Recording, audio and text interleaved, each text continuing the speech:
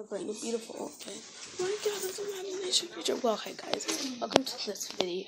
So, if fruit roll-ups, so raise your hand if you're an animator and you suffer from depression. Wow. If you're a cicada and you come out of the shell, do you come out beautiful or do you come out ugly? Like, you might, I'm not sure. Well, you ever been scrolling through YouTube but then you find its deepest, darkest sites? This is what it looks. You notice his smile just turning into a this is what happens, guys. Yeah, you don't want that to happen to you, okay? I have a medication for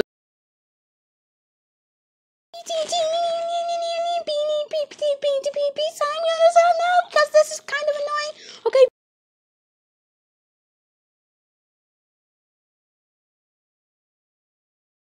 So, bye guys. Hope you liked my video. Please just started out so I'm desperate for a sub subscribe.